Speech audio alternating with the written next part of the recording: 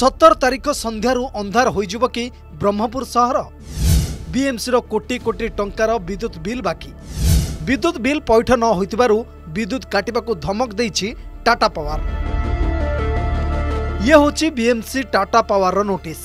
Tata power Odisha TPS O DL ପକ୍ଷରୁ ବାରମ୍ବାର BMC କର୍ତ୍ତୃପକ୍ଷଙ୍କୁ ବକେୟା ବିଦ୍ୟୁତ୍ ବିଲ୍ ପୈଠ କରିବାକୁ ଗତ ଦୁଇ ତାରିଖରେ ପନ୍ଦର ଦିନିଆ ନୋଟିସ୍ ଦିଆଯାଇଥିଲା। କୁହାଯାଇଥିଲା ସତର ତାରିଖ ସୁଦ୍ଧା ବିଲ୍ ନ ଦେଲେ ସେହିଦିନ ସନ୍ଧ୍ୟାରୁ ଷ୍ଟ୍ରିଟ୍ ଲାଇଟ୍ରୁ ଲାଇନ୍ କାଟି ଦିଆଯିବ। ଦୁଇ ହଜାର ଏକୋଇଶ ପୂର୍ବରୁ ଟିପିଏସ୍ ଓ ଡିଏଲ୍କୁ ବିଏମ୍ସି ପ୍ରାୟ ଷୋହଳ କୋଟି ଦେବାର ଥିଲା।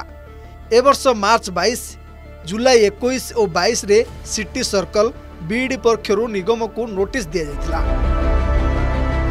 ବିଦ୍ୟୁତ୍ ବିଲ୍ ପୈଠ ପାଇଁ ନିଗମ ଅକ୍ଷମତା ପ୍ରକାଶ କରିବା ପରେ ଟିପିଏସ୍ ଓ ଡିଏଲ୍ ପକ୍ଷରୁ ଓଟିଏସ୍ ମାଧ୍ୟମରେ ପ୍ରାୟ ଆଠ କୋଟି ପଞ୍ଚାବନ ଲକ୍ଷ ଟଙ୍କା ଛାଡ଼ କରି ବଳକା ସାତ କୋଟି ପଞ୍ଚଷଠି ଲକ୍ଷ ଟଙ୍କା ପ୍ରଦାନ କରିବାକୁ ଅଗଷ୍ଟ ବାଇଶରେ ନୋଟିସ୍ ହୋଇଥିଲା।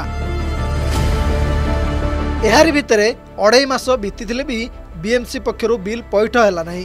ଏବେ ସହର ଭିତରେ ଥିବା ପ୍ରାୟ ଷୋହଳ ହଜାର ପାଞ୍ଚଶହରୁ ଉର୍ଦ୍ଧ୍ୱ ଷ୍ଟ୍ରିଟ୍ ଲାଇଟ୍ରୁ ବିଦ୍ୟୁତ୍ ବିଚ୍ଛିନ୍ନ କରିବାକୁ ଚେତାବନୀ ଦେଇଛି ଟାଟା ପାୱାର। ଏହାକୁ ନେଇ ସହରବାସୀଙ୍କ ମଧ୍ୟରେ ଦେଖାଦେଇଛି ଅସନ୍ତୋଷ। ଏଇଟା ହେଉଛି ମହାନଗର ନିଗମର କର୍ତ୍ତବ୍ୟ। ସେମାନେ ବିଜୁଳି ବିଭାଗକୁ ତାଙ୍କର ବିଜୁଳି ବାବଦକୁ ଯାହା ଖର୍ଚ୍ଚ ଅଛି ତାକୁ ପୈଠ କରିବା କଥା। ଯଦି ବି କରିନାହାନ୍ତି କୋଟି କୋଟି ଟଙ୍କା ବାକି ଅଛନ୍ତି ତାହେଲେ ଲୋକଙ୍କ ଠାରୁ ଟିକସ ଯେଉଁ ଜୋର ଜବରଦସ୍ତି ନେଇଛନ୍ତି ସେ ଟିକସ ଗଲା କୁଆଡ଼େ?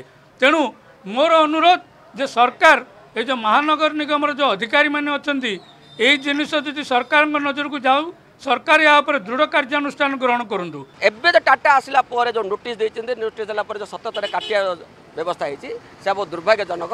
କାରଣ ଯଦି କରେଣ୍ଟ କଟା ହେବ ତାହେଲେ ବହୁତ ଦୁର୍ଘଟଣା ଘଟିବା ବ୍ୟବସ୍ଥା ସହିତ ଲୋକ ଅସୁବିଧା ହେବା ସହିତ ଦୁର୍ଘଟଣା ଘଟିବ ଦୁର୍ଘଟଣା ଘଟିଲା ସହିତ ଯେଉଁ ପକଡ଼ ମାର ଏସବୁ ଯେଉଁ ଅଛି ସେ ଆହୁରି ବଢ଼ି ଚାଲିବ। ବିଏମ୍ସି ଯେଉଁ ହୋଲ୍ଡିଂ ଟ୍ୟାକ୍ସ ନେଉଛି କୋଟି କୋଟି ଟଙ୍କାର ସେଇଟା ସିଏ ରାସ୍ତା ନାଳ ଘାଟ ସଫେଇ ବିଦ୍ୟୁତ ବିଭାଗକୁ ଦେବ ଏସବୁ ବାବଦରେ ନେଉଛି। ଲୋକଙ୍କ ପାଖରୁ ଯେଉଁ କର ଆଦାୟ କରାହେଉଛି ସେଇଟାର ସିଧାସଳଖ ଭାବରେ ବାଟ ମାରଣା ହେଉଛି।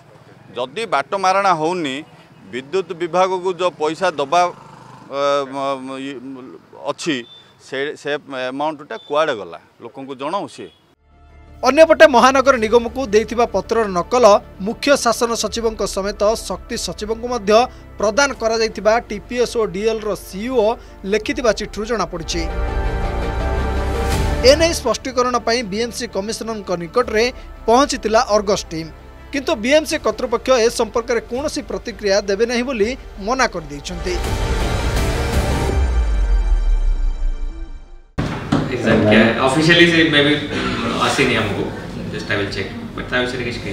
ଏପରିସ୍ଥଳେ ବ୍ରହ୍ମପୁର ମହାନଗର ନିଗମ କର୍ତ୍ତୃପକ୍ଷଙ୍କ ସହିତ ଆମେ ଯୋଗାଯୋଗ କରିଥିଲେ ସୁଦ୍ଧା ଆମକୁ କ୍ୟାମେରା ସମ୍ମୁଖରେ ପ୍ରତିକ୍ରିୟା ଦେବାକୁ ମନା କରିଦେଇଛନ୍ତି। ବ୍ରହ୍ମପୁରରୁ କ୍ୟାମେରା ପର୍ସନ ଶୁଭେନ୍ଦୁଙ୍କ ସହିତ ପୀତାମ୍ବର ନାହକ ଅର୍ଗସ୍ ନ୍ୟୁଜ୍